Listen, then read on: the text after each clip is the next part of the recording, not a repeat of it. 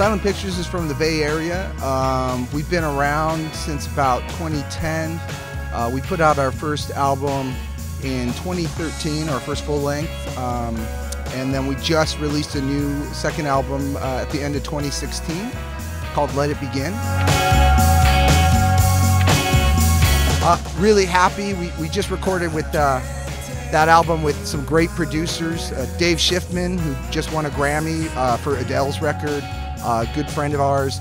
Um, Joe Foster, who uh, co-founded with Alan McGee Creation Records. He did the first Jesus and Mary chain single.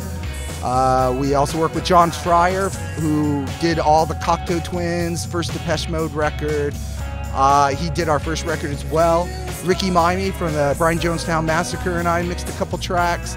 And we had it all mastered with uh, Howie Weinberg, who did my best, most favorite Cure record, which is Disintegration. So uh, Let It Begin is really an amazing journey. and We're super happy to have uh, got to work with so many great people. My absolute favorite boss pedal, and I, I made the mistake as a teenager of buying it and then losing it somehow, is the, the green tremolo pan, the PN2. I love this pedal. I remember getting it because it was something that, you know, My Bloody Valentine, Kevin Shields used on a lot of their early recordings, uh, as well as uh, Ride. And these were all bands that, you know, back in the early 90s, late 80s, I would go and see. Just an amazing stereo tremolo pedal. I also use uh, the Boss Super Overdrive, the SD1. Uh, you know, a lot of people like those kind of custom whatever. You know, everyone has a different looking overdrive pedal. It's like it's kind of like a tattoo, but to me, the, that's the standard.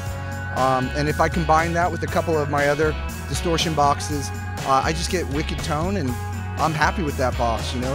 And you know what? I can always find it in case it breaks. We also used uh, Roland for uh, recording for amps. We use the JC line quite a bit as a, as a secondary amp with maybe a box and a JC120 or a twin and a JC120. And we use Roland keyboards. We're, we're currently uh, touring with the, the uh, Juno DI model. And what I love about that is that basically every vintage classic sound or just standard instrument is there. So instead of having to bring three keyboards, we can get it all done with just one. And when you're on the road, it one keyboard is better. It's less to move.